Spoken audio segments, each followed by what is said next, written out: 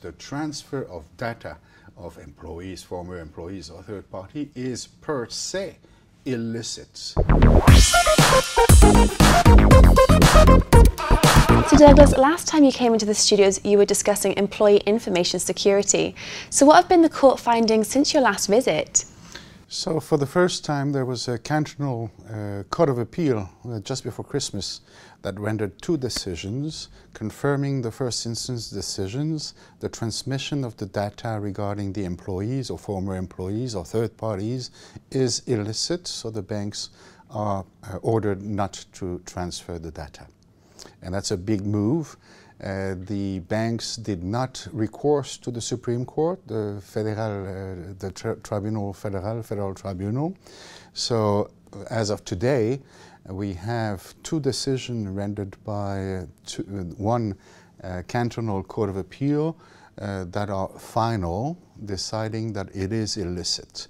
Hopefully, uh, one of these days we'll have other decisions somewhere else in Switzerland with a bank who would appeal up to the Supreme Court. But as of today, that's what the situation is.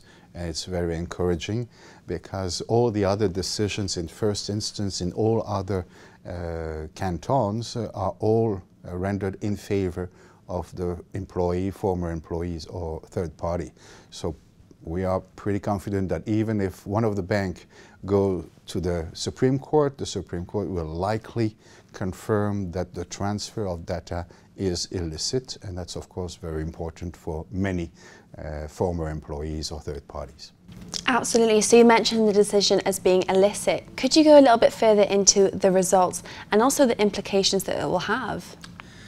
Uh, all the decisions so far uh, keep Uh, balancing the interest, the interest of the bank uh, to uh, cooperate with the US uh, as they have to, and the interest of the former employee or third party to keep the data uh, in Switzerland and not transfer the data to a criminal authority in the US, which is the DOJ.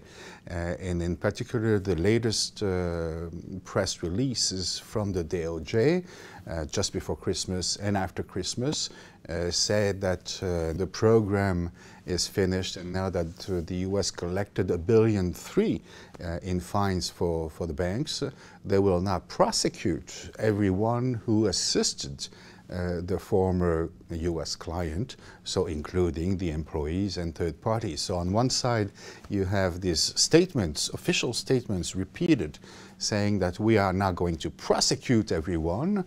And on the other side, of course, the courts, the civil courts, uh, said that the interest of the employee or third party prevails on the interest of the banks to cooperate because there is a specific risk that if the data is transferred, uh, it could uh, trigger some very difficult situation for the former employees and for the third parties, uh, possibly a prosecution in the US.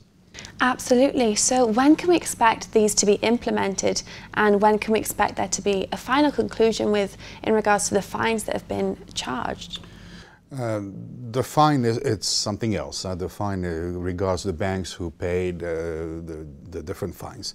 As far as the transfer of data regarding the employees or third parties, it is now final for at least two cases uh, because the two banks involved in these cases did not recourse to the uh, Supreme Court against the uh, Court of Appeal in Geneva. So the situation as of today is that regarding these two specific cases, uh, it is final. So now there's a, ma a, matter of indemnity or what kind of compensation you could get. But as far as the principle of whether or not these data regarding these two employees or former employees, it is final and enforceable. They will not have their data being transferred to the US. So it's a very big move uh, that we had. Uh, of course, we would all have liked to have the Supreme Court to have uh, its word, the final word, but since the two banks involved did not recourse to the uh, federal court, then uh, it is the final decision that is up to date. Uh, the first one is in Geneva. what we can say is that unfortunately all these decisions, including the two from the Court of Appeal of Geneva, keep uh, balancing the interest between the interest of the bank to cooperate and the interest of the uh, former employee or, or, third party not to have its data being sent. But there's a much faster and quicker route legally uh, is to say that the transfer of data of employees, former employees or third party is per se illicit if it's not done within a mutual assistance uh, treaty or, or cooperation. Uh, the FINMA said it in writing. The uh, Federal Office of Justice Swiss uh, said it in writing twice. Uh, Edwin, uh, Eveline Widmer-Schlumpf, the former member of the government, said it officially before the parliament. We need to have a specific legal basis, a specific law to allow the transfer of data outside of the regulation regarding the uh, international assistance in administrative or criminal matters. So that's it. You don't have to balance anything anymore. So if it is illicit, it is illicit no matter what the interest is, it is illicit.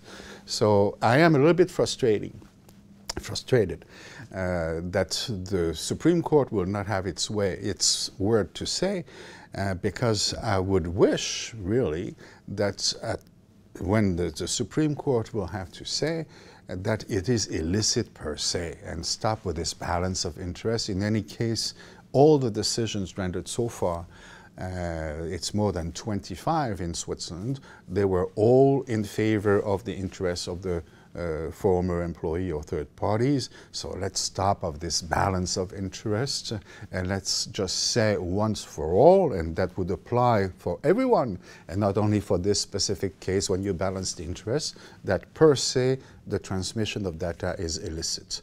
Hopefully, one of these days, one of these cantonal court or the Supreme Court will say it and then we will be satisfied.